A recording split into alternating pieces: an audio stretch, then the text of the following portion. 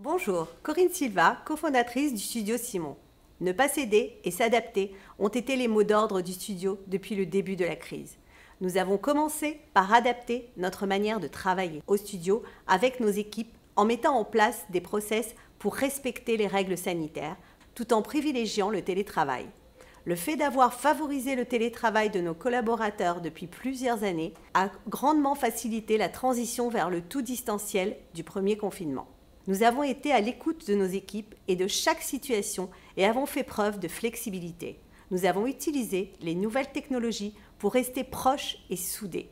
Nous avons échangé avec nos clients, déterminé leurs besoins et les avons encouragés eux aussi à s'adapter à ce monde changeant.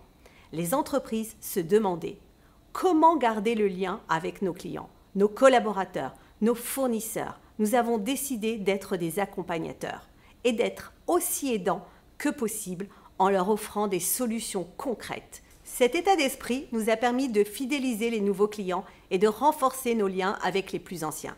Viser l'excellence, innover et réfléchir en dehors des sentiers battus fait partie de l'ADN du studio. Nous sommes fiers d'avoir traversé ensemble cette épreuve qui nous a rendus collectivement plus forts. Bon courage à tous et à très bientôt.